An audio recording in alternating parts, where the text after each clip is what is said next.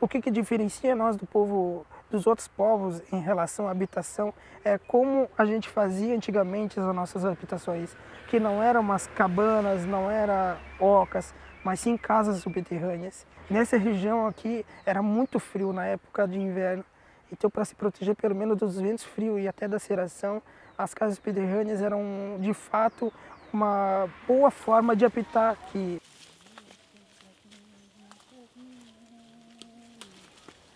A nosso salão fica bem aí, ó. E tem quatro portas para nós sair, para escapar dos inimigos. Eu pretendo morar aqui ainda. Um desse aqui. Um desse minha casa eu tenho que escolher. E os jovens que estão acompanhando nós, que saiba disso. Hoje estou junto, amanhã não sei onde é que eu estou. Mas eu quero ficar aqui. Na minha casa, na minha casa dos meus tataravós. Né?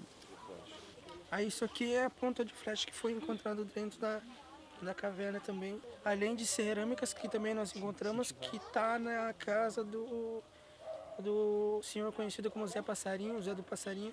Essa aqui na, na época eles usavam como facão para cortar as matas no momento, né? Para cortar madeira. Também quando eles, eles pescavam normalmente, né? então eles cortavam normalmente os peixes no momento, numa época quando tinha bastante peixe no momento. Né? Tem muitas cerâmicas que também foram encontradas em casas subterrâneas passando a entrada da fauna no sentido de leste a oeste, então Uh, esse ponto também de conflito que hoje é conhecido como Poço do Caixão também é um ponto de referência, além do, do livro que a gente está formando aí que mostra 32 sítios arqueológicos aqui na região. Uh, meu pai relatava que naquela terra antiga aqui que existia na, aqui nessa região aqui, ela ficaria em torno de 5 mil a 6 mil hectares de, de, de terra, de terra indígena que era na, na, nos, dos ancestrais. Então a divisa dele também pega Caxias do Sul daqui.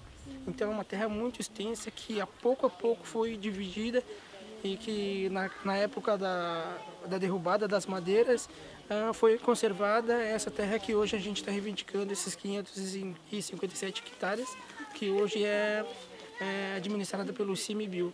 O que durou dela, no caso, o que restou dela da, da nativa, a gente está reivindicando para estar tá conservando e preservando a nossa cultura.